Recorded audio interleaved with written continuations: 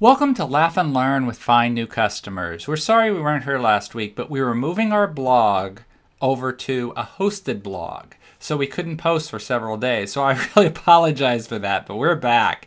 And I gotta tell you, one thing I despise are repetitive TV ads. The thing, the ads you see over and over, like for Nissan or these pharmaceuticals or whatever, they're just they're terrible. Fortunately, beer companies tend to do a better job, and I'm going to show you my favorite ad, and I'm going to come back and tell you why it's my favorite ad.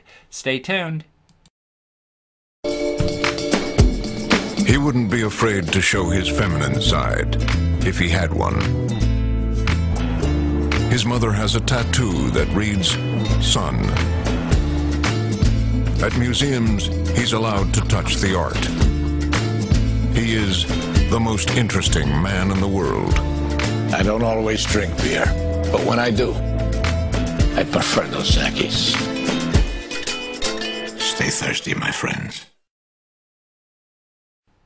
So that was Dos Equis' most interesting man in the world uh, ad campaign. And the thing I like is they're always different. Everyone you see, it's different. So they don't air the same one twice, to the best of my knowledge.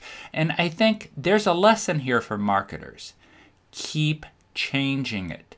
Slow down, keep it fresh, and make it tongue in cheek because this is just a kind of a silly, uh, you know, ad, but but it really works again because they change it all the time. So I give a lot of credit to Dos Equis for not boring us. Thank you.